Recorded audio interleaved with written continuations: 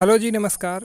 तना छेदक का अगर आप कई बार स्प्रे कर चुके हैं तरह तरह के इंसेक्टिसाइड का स्प्रे कर चुके हैं, फिर भी तना छेदक जो है कंट्रोल नहीं कर पा रहे हैं आपके धान की फ़सल में। तो मैं आज आपको एक ऐसे दवा बताने वाला हूँ जो कि सिस्टमिक इंसेक्टिसाइड है और इसका अगर आप इस्तेमाल करते हैं तो जो आपकी धान की फ़सल में जो है तना छेदक को आसानी से नियंत्रण कर सकते हैं। ये जो दवा है, ये कोराजन लेवल की दवा है मतलब कोराजन इतना भले ही काम ना करे, लेकिन उसी लेवल के लगभग ये दवा है, उसी मतलब सिद्धांत पर काम करता है। तो आप जो ये देख रहे हैं, मैं आपको दिखाता हूँ दवा के बारे में।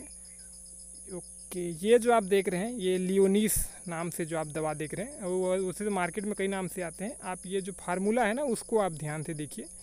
ये वाले जो फार्मूला का दवा है, उसमें लिखा रहता है कि ये कॉटन के सफ़ेद मक्खी के लिए, क्योंकि देखो ये जो दवा अलग अलग आप नेट में पढ़ेंगे तो आपको पता चलेगा कि ये स्टेम बोरर के लिए होता है, लेकिन दोनों को मिला के जो है कंपनी को भारत सरकार में रजिस्टर करानी पड़ती है तो इसलिए ये सफ़ेद मक्खी के लिए लिखते हैं।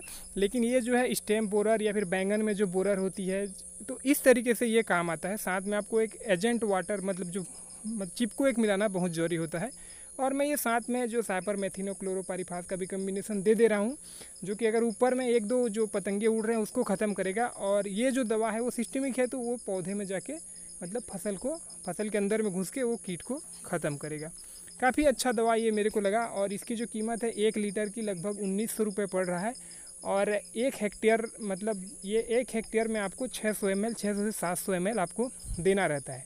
तो आप अगर बारह सौ एम लाते हैं तो लगभग आपके पाँच एकड़ के लिए हो जाएगा जो कि मोटा मोटी पच्चीस छब्बीस सौ रुपये का इसका खर्चा आपको पड़ेगा।